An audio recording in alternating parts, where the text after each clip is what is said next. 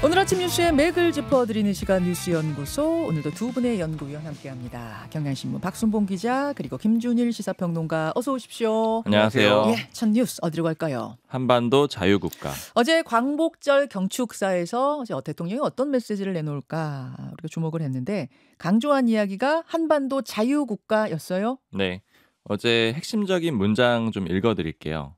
분단 체제가 지속되는 한 우리의 광복은 미완성일 수밖에 없다. 즉 통일을 해야 된다 이런 얘기가 되는 거고요. 한반도 전체의 국민이 주인인 자유민주 통일국가가 만들어지는 그날 비로소 완전한 광복이 실현되는 것이다 이렇게 얘기를 했습니다. 네. 그러니까 여기는 한반도 전체의 통일국가가 만들어진다라는 거, 특히 자유국가가 만들어진다라는 거니까 이거는 이제 남한 중심의 통일을 의미하는 그런 이제 얘기가 되는 거고요. 음. 그리고 또 이런 얘기도 했습니다. 자유가 박탈된 동토의 왕국, 빈곤과 기아로 고통받는 북녘 땅으로 우리가 누리는 자유가 확장돼야 된다. 이건 역시 자유가 남한에서 북한으로 확장돼야 된다라고 하니까 또 남한 체제 중심의 통일을 얘기하는 거거든요. 네. 그러니까 대통령실에 물어보면 이걸 흡수 통일까지는 아니다 이렇게 평가를 하는데 다만 전문가들 중에서는 이건 또 사실상 흡수 통일을 얘기하는 게 아니냐 이렇게 평가를 하기도 합니다. 음. 지금 이제 얘기들을 보면은 자유로부터 통일로 연결이 되거든요. 이 음. 논리 구조를 좀 간단히 설명을 드리면은 이 윤 대통령이 봤을 때 이건 대통령실의 설명이에요. 일제 강점기 이후에 한국의 역사가 자유를 얻어가는 과정이었다라는 거예요. 그러니까 예를 들어 일제 강점기에 독립하는 거 이것도 자유를 얻은 거고 또 산업화 이뤄가지고 경제적인 면에서 자유를 얻었고 또 민주화도 자유를 얻고 이런 과정인데 이 자유를 북한까지 넓어, 넓혀야 되고 그 과정이 곧 통일이 된다. 그래서 자유부터 통일까지 연결시키는 그런 논리 구조를 갖고 있습니다. 자 그러면 영상으로 어제 한 장면을 좀 볼까요? 네. 한반도 전체 국민이 주인인 자유민주 통일 국가가 만들어지는 그날 비로소 그날 실현되는 것입니다.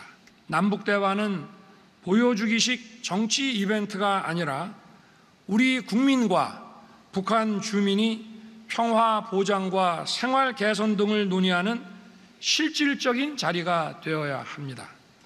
예, 예, 자유민주 국가가 되는 그날 자유 통일이 되는 그날 비로소 광복이 되는 것이다. 이런 것을 강조했죠. 네. 그래서 자유를 굉장히 많이 강조했는데 네. 가장 많이 쓴 단어가 자유였고 자유를 50번 썼습니다. 그리고 음. 그 다음이 통일이 36번, 북한이 32번 이렇게 썼습니다. 네. 그리고 대통령실에서 어제 경축사에 대해서 평가를 한 걸 보면 8.15 통일 독트린이 담겼다 이렇게 표현을 하거든요.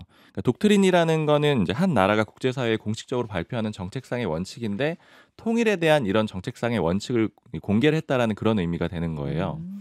3대 비전, 3대 전략 7개 구체적 방안을 제시를 했는데 3대 전략을 좀 짚어볼 필요가 있어요. 이렇게 얘기를 하거든요. 자유 통일을 추진할 자유의 가치관과 역량을 배양해야 된다.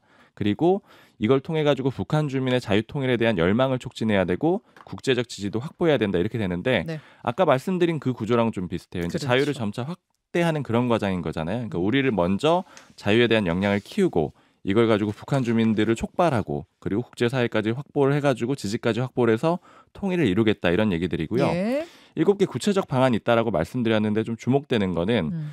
가짜 뉴스에 기반한 허위 선동과 사이비 논리를 태치해야 된다라고 했어요. 음. 그러니까 이거는 우리 안에 있는 그 자유를 방해하는 요소를 제거한다라는 그런 의미가 되는 거고 음. 북한 주민의 정보 접근권을 확대하겠다라고 얘기를 했고요. 음. 그 다음에 남북 실무 차원의 대화 협의체를 제안하겠다 이런 얘기도 했습니다. 음. 이 방안들이 좀 세부적이잖아요. 그래서 이제 전체적인 큰 그림을 보면은 지난달 14일에 그때가 북한 이탈 주민의 날이었거든요. 네네. 그러니까 윤 대통령이 당시에 기념사한 걸 보면은 통일 대한민국을 만들겠다라고 얘기를 해요. 그러니까 이게 이미 남한 중심의 대한 그 통일 이걸 언급을 한 거고요.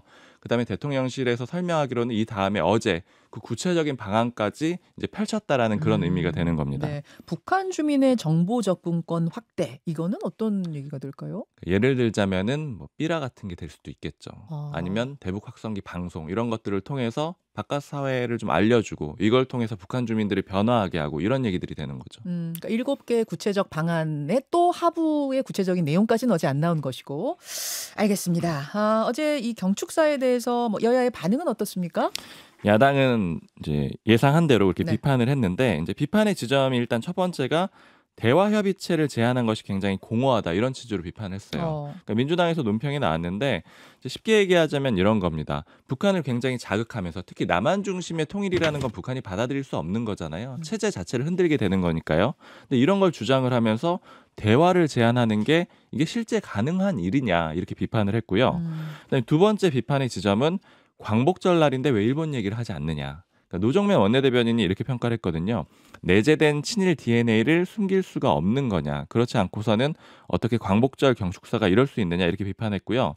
여당 내에서도 비슷한 비판이 있었는데 유승민 전 의원이 지난해 광복절에 이어 오늘도 대통령의 경축사에서 일본이 사라졌다. 참으로 이상하고 기괴한 일이다. 이렇게 지적을 했습니다. 일본 일제 뭐 이런 단어가 안 나왔다는 건가요? 그렇죠. 이제 독립을 얘기하는 날인인데 네. 뭐 일본에 대한 뭐 비판이든 혹은 일제 강점기에 대한 그 시기에 대한 언급이든 음. 이런 것들이 없었다라는 거죠. 음흠.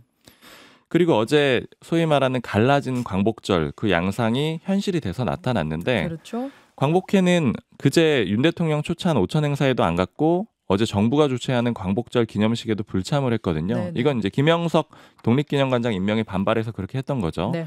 그 대신에 광복회가 어제 백범기념관에서 자체적으로 기념식을 했는데 대부분의 야당이 이 행사로 갔습니다. 음.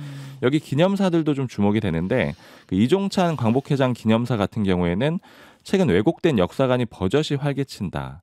그리고 역사를 허투루 재단하는 인사들이 전면에 등장하고 있다 이렇게 얘기를 했는데 음. 이건 김영석 관장 비판한 내용입니다. 음. 그리고 김감년 광복회 독립영웅 아카데미 단장이 한 얘기는 꽤 강했는데 이 후손들과 국민 모두가 살기 위해서는 친일 편향의 국정 기조를 내려놔야 된다. 윤석열 대통령한테 하는 얘기고요. 음. 그럴 생각이 없다면 대통령직에서 물러나시라 이런 어. 강한 표현까지 썼습니다. 예, 예. 그리고 야당 원내대표나 대표들이 와가지고 역시 그 윤석열 대통령의 경축사에 대해서 강하게 비판을 했고 특히 박찬대 원내대표 같은 경우에는 일제 강점기인지 아닌지 분간이 안 될 정도다 이렇게 지적을 하기도 했습니다. 자, 어제 이제 두 쪽이난 어, 경축 행사 소식 그리고 대통령의 이 경축사 메시지 해석까지 해주셨는데 김준일 평론가는 어떤 부분에 주목하셨어요? 예.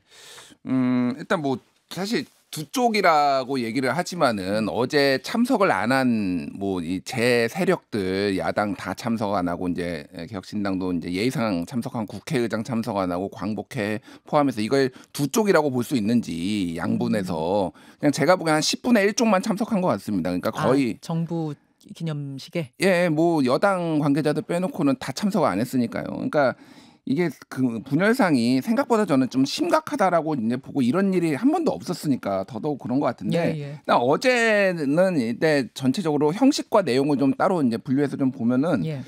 어, 얘기했듯이 일본 이게 그러니까 광복절에는 광복절에 맞는 내용이 나오고 음. 뭐 3.1절에는 3.1절에 맞는 내용이 나오고 뭐 6.25 때는 6.25 때 맞는 내용이 나오는 게 이게 그냥 진보 보수할 것 없이 어떤 관례였잖아요. 네. 그러니까 당연한 겁니다. 그게. 근데 이게 일본이라는 단어가 두 번 나오는데요. 음. 어떻게 나오냐면은 하나는 1인당 국민 소득이 2026년 4만 달러가 돼서 일본을 넘어섰다. 여기서 일본이 한번 나오고요. 음. 또 하나는 올해 상반기 한국과 일본의 수출 격자가 역대 최저인 35억 달러다. 그러니까 이게 무슨 얘기냐면은 일본 이제 우리가 다 이겼어. 음. 경제적으로 이겼으니 이제 자신감 가져. 일본 얘기 안 해도 돼라는 얘기를 지금 하고 싶은 거예요. 그러니까 일본 제국주의라든지 일본의 이제 강점이라든지 이런 얘기를 이제 의도적으로 안 했다. 이렇게 좀 보는 게 맞을 것 같습니다. 그러니까 일제 예. 치하에 대한 강점기에 대한 비판이나 이런 음. 부분이 의뢰에 들어갔던 부분이 생략된 것에 대한 의아함을 지금 말씀하시는 거예요. 예, 뭐 어쨌든 지금 일본도 일본 내각도 지금 뭐 야스쿠니 신사에 뭐 공물 헌납하고 지금 뭐 이게 지금 뭐 계속 이어지고 있고 이번 에도 마찬가지인데 예. 그거에 대해서도 이제 비판이 없었다라는 거는 결국은 이제 이건 반발을 부를 수밖에 없는 그런 내용인 것 같고 음. 또 하나 이제 눈에 띄는 게 지난해 광복절에는 음, 반국가 세력이라는 얘기를 했어요. 그러니까 음. 예. 어, 조작 선동으로 여론을 왜곡하고 사회를 교란하는 반국가 세력이 여전히 활개치고 있다. 근데 이번에는 이제 사이비 지식인 선동가들 앞날은 그러니까 그 단어만 바꿨지 똑같아요. 그러니까 사실은 이게 8월 광복절의 의미에 맞느냐. 그러니까 음. 대통령이 뭐 그런 인식을 가질 수가 있는데 이게 광복절은 결국은 광복이 된 날이고 또 하나는 국민을 통합해야 되는 메시지가 나와야 되는데 대통령이 스스로 계속 이게 뭐 이제 심각하다고 느낄 수도 있지만 계속 이게 야당이나 다른 이제 여러 세력들의 반발에 불러 일으키는 거를 의도적으로 지금 계속 넣고 있다. 예. 뭐 이런 비판이 이제 안 나올 수가 없고 음. 이게 통일 방안이 이제 뭐 나올 수도 있는데 이 통일 방안에 대해서도 이제 현실성 문제가 이제 가장 문, 문제인데 예를 들면 이런 겁니다. 미국이 중국의 인권 문제를 음. 항상 지적을 해요. 배- 이를테면 티벳 이제 인권 문제 너희 예, 예. 심각하다. 그러면은 이제 중국은 보통 얘기하죠. 니네 나라 인종 차별이나 좀 신경 써라. 니네 나라 지금 음. 인권이 얼마나 심각한지 아냐 이렇게. 그러니까 인권 문제를 얘기하는 거는 인권 문제도 저도 중요하다고 생각하고 북한 문- 인권 문제 굉장히 중요하지만은 대화를 하거나 뭔가를 얘기를 풀어나갈 때는 전혀 도움이 안 되는 거죠. 결국은 그렇게 부딪히다가 음. 다른 문제로 이제 필요하면은 한다라는 거예요. 그럼 이제 통일 방안이라는 게 독트린이라는 얘기가 대원칙이라고 할 정도로 한다라면은 예. 여기에 아주 구체적으로 뭔가 방안이 들어가야 되는 건데 이게 이게 우리가 뭐 인권 문제 중요하니까 이게 얘기를 할 수 있고 국제사회 연대도 끌어낼 수 있고 뭐 북한의 인권 문제가 미국 국미, 국무부에 발표하는 자료 따르면 세계 최하 최하위잖아요. 그거를 우리가 반복하는 것 외에 어떤 변화가 있을 수 있는지에 대해서는 굉장히 공허하다라는 거죠. 그러니까 음. 이게 그래서 사실은 이제 그러니까 YS 정부 때 발표됐던 민족 공동체 통일 방안을 이제 보완하기에 만들었다는데 사실상의 흡수 통일을 다시 한번 이제 천명한 거 아니냐. 그러니까 북한에 어떤 정보를 보낸다라는 거는 결국은 삐라 보내거나 대북 확성기 한다라는 건데 이거는 북한하고 싸우자는 거다 결국. 뭐 이런 걸로 이제 해석될 수밖에 없는 거예요. 현실적인 통일 방안이 되겠는가 뭐 이런 지적을 지금 해주셨는데 오늘 이 이야기는 어, 뭐 인터뷰를 통해서도 좀 더 풀어보기로 하고요. 일단 이슈 넘어가죠. 네. 대통령실 연금 개혁안. 대통령실이 연금 개혁안을 내 공식적으로 낸 건 아니잖아요. 네. 취재로 기자들 취재로 언론 보도를 통해서 나온 거고요. 예, 예. 근데 사실 이제 대통령실 고위 관계자한테 저도 어제 물어봐서 기사를 썼는데 기존부터 조금 예고는 돼 있었던 거예요. 음. 그러니까 이제 기자들하고 만나서 어느 정도 언급은 됐었던 내용이 기사화가 됐고 그래서 어제 조금 더 구체화해서 여러 언론사에 나온 겁니다. 사실은 지난 국회에서 직- 그러니까 어떤 합의의 직전까지 갔다가 이게 멈춰선 게 연금 개혁안인데 대통령실에서 주도적으로 낸 건 어떤 겁니까? 주로 구조 개혁에 초점이 있다라고 보시면 되는데 네. 그 연금 개혁은 크게 두 가지 틀이 있거든요. 모수 개혁이 숫자 바꾸는 거, 그러니까 보험료율, 소득 대체율 요거 바꾸는 건데 21대 국회에서 소득 대체율 합의를 못 해가지고 아, 잘 안 됐었습니다. 예.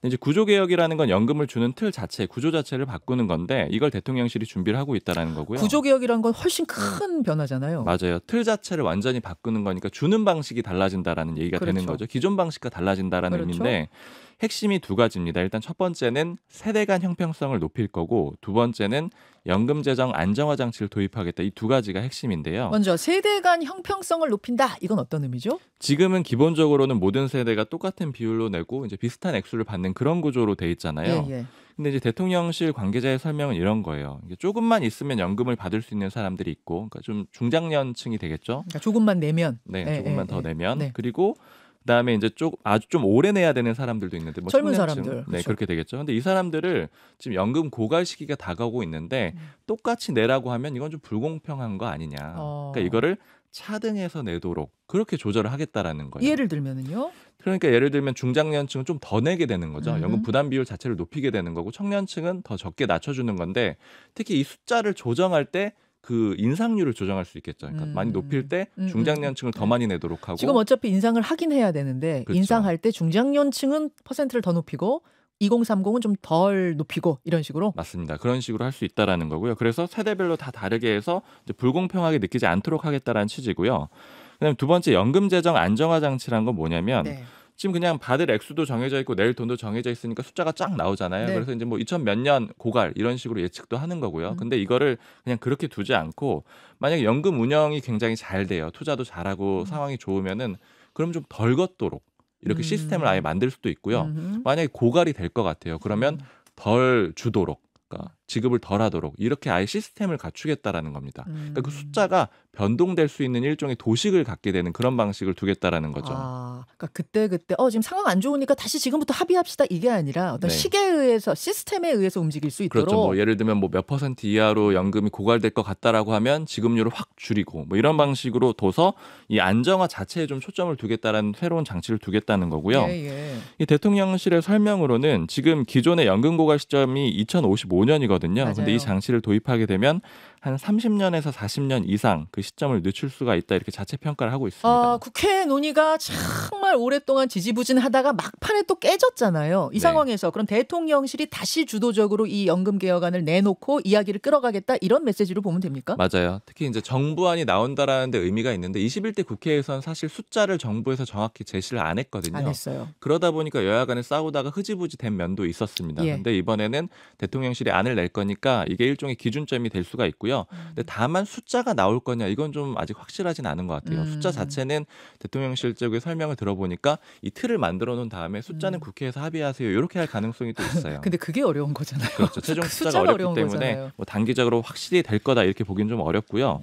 하나 또 봐야 되는 건 이 발표를 아마 윤 대통령이 직접 할것아 같습니다. 그래요? 어. 그러니까 기존에 영일만 그 원유가 수점 발표했을 때 윤 대통령이 국정 브리핑이라는 형태로 한번 한 적이 있었잖아요. 대왕고래 프로젝트. 맞습니다. 예. 근데 2차 국정 브리핑이 될 수도 있고 혹은 그냥 일반 기자회견이 될 수도 있는데 음. 어쨌든 윤 대통령이 직접을 할 거기 때문에 이건 그만큼 대통령실에서 강조하는 내용이다 이렇게 이해할 수 있습니다. 예. 자, 김준일 평론가 네. 참 어려운 문제 음. 연금 개혁 하긴 해야 돼요. 네. 더 이상 미룰 수도 없어요. 음. 대통령실이 이번엔 주도하겠다 이렇게 나섰네요. 그러니까 만시지탄이긴 한데 지금이라도 뭐 주도를 하겠다고 해서 굉장히 칭찬을 하겠, 하겠습니다. 그러니까 음.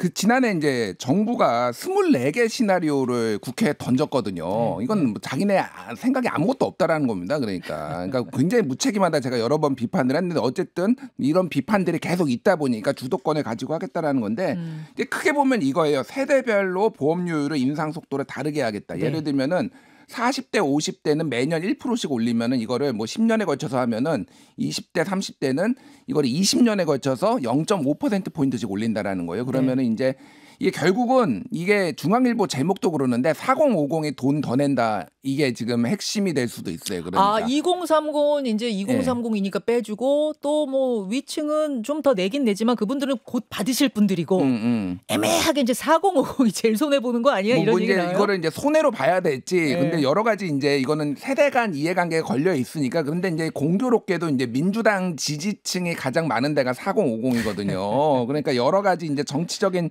민주당 으로서도 이제 반발이 좀 있을 수도 있다라는 거고 또 하나가 이제 이게 자동 안정화 장치라는 건데 쉽게 얘기를 하면은 네. 이 결국에 받는 연금을 네. 이 지금 이 어떤 지금 재정 상황에 따라서 자동으로 변하게 만든다라는 거예요. 네네네. 이거는 결국은 국민연금이 아니라 국민 용돈으로 변할 거다. 어, 그건 또 무슨 얘기예요? 아니 그러니까 지금도 이를테면 우리나라가 OECD에서 노인 빈곤율이 제일 높고 예, 예. 이렇게 그래서 어느 정도 생활이 될 수 있을 정도의 어떤 안정 그 정도의 안정될 수 있을 정도의 돈을 줘야 되는데 지금 상황으로 보면은 이건 무조건 자동 안정화 정책을 네. 이, 이 안정화 장치를 넣으면은 무조건 돈이 받는 수급액이 떨어진다라는 거예요. 그러니까, 그러니까 이게 프로그래밍화한다는 거잖아요. 예, 예, 예. 주식이 뭐 몇 퍼센트 떨어지면 자동으로 팔게 돼 있고 뭐 음. 이런 이런 것처럼 마치 유럽 국가들에도 이걸 도입한 나라들이 있어요. 근데 그 나라들은 음. 그 받는 금액이 우리나라보다 더 많이 내고 훨씬 이제 이런 자동화 장치를 음. 뒀다라는 건데 이게 결국은 이제 결국은 이제 실효 문제성이 있는 것 같고 또 하나는 이제 저출산 문제로 이거 연계 연계한다라는 거예요. 음. 이제 아이 출산하면은 크레딧을 주는 거를 둘째부터 줬는데 이거를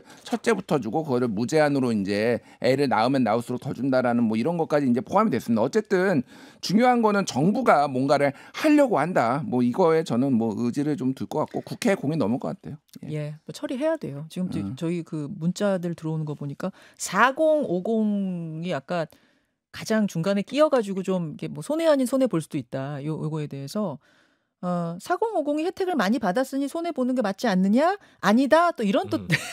댓글창에서 토론이 벌어졌는데 여러분 아직 뭐가 확정된 건 아닙니다.